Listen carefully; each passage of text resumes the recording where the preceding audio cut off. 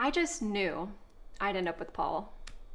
He was the top athlete in high school, smart, kind, good looking, just a real nice guy. We had such a sweet romance. Inseparable, most would say. Well,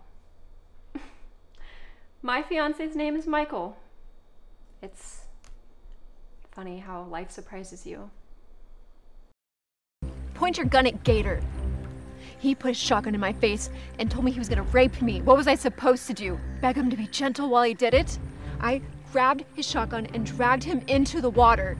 That's where I stood a chance. He almost shot my arm off. And if you wouldn't have come here and dragged me off him, I would have drowned the son of a bitch. So point your gun at me. Hello? Do you know why I'm here? No. What do you want with me? With me? Why do you lie to me? We're fine here. So, it looks the Tanisha Wallace case is coming your way. I don't discuss my cases. People have a strong interest in seeing justice done. Well, people don't need to worry. That's what always comes from my court. A police widow with kids crying over the loss of her husband is not a good look in an election year.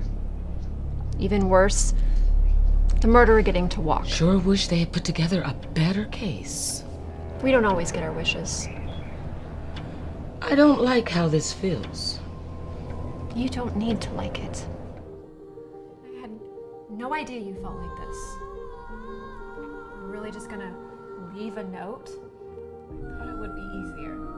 I feel like I'm just a convenience to you. I'm.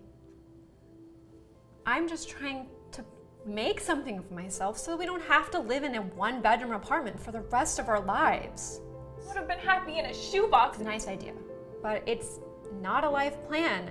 I was trying to build something for us. Lily, you were trying to build something for you. Taken away my choice. Do I even have any say?